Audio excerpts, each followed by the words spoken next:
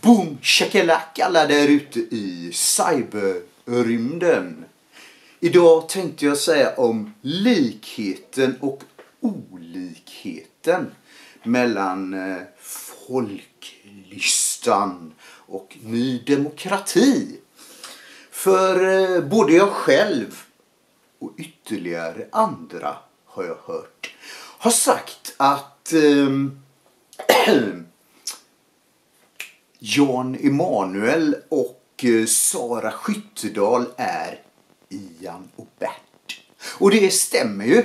Ha? Två clowner som lallar runt och eh, verkar lite lustiga på något sätt. Eller hur? Ian och Bert. Så det finns ju en likhet. Vad är det för skillnad då? En stor skillnad är den här va. Det finns alternativ. Jag ska förklara. På eh, 90-talet där va. Så fanns det inget vettigt eh, alternativ. Det, det fanns bara samma skit.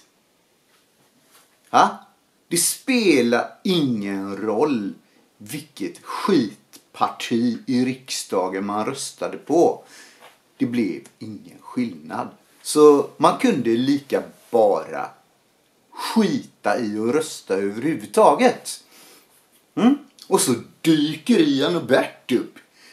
Ha? Vad var det de sa? Sunt förnuft? Eller, ja. Själv tänkte jag så här. De där två clownerna. De har inget sunt förnuft.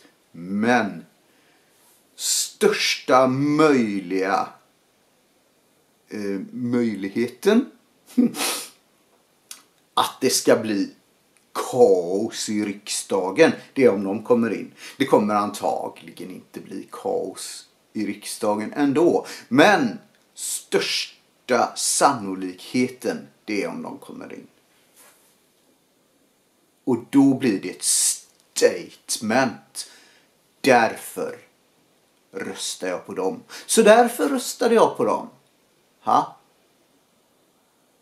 Och om vi då säger så här. Om det bara finns sjuklöven att rösta på till, eh, ehm, till, till, EU parlamentet. Ja, då skulle jag hellre rösta på Jan Emanuel och Sara Skyttedal än om jag måste rösta på någon av eh, sjuklöven. Eller om jag skiter i att rösta. För sjuklöven liksom va. Men grejen är den va. Det finns alternativ. Mm. Vi har eh, Alternativ för Sverige som vill att vi lämnar EU.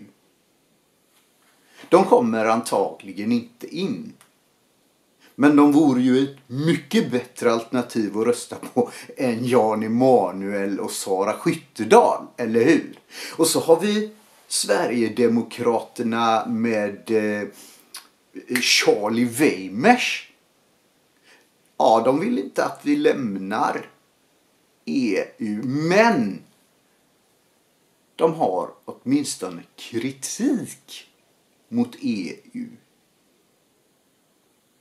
De är mycket bättre alternativ än Jan Emanuel och Sara Skyttedal.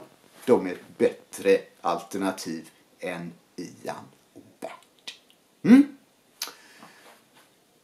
Så är det. Vad tycker du? Håller du med mig? Eller är du knäpp? Skriv i eh, kommentarsfältet. Men eh, skriv eh, artigt och belevat. Klicka på att du gillar. Klicka på eh, klockikonen så att den skäller och eh, skicka runt till alla dina vänner och bekanta så att eh, det blir många som lyssnar på klokheten som jag har berättat om här. Mm. Och eh, swisha gärna en liten slant till 0730 46 7053. Badum!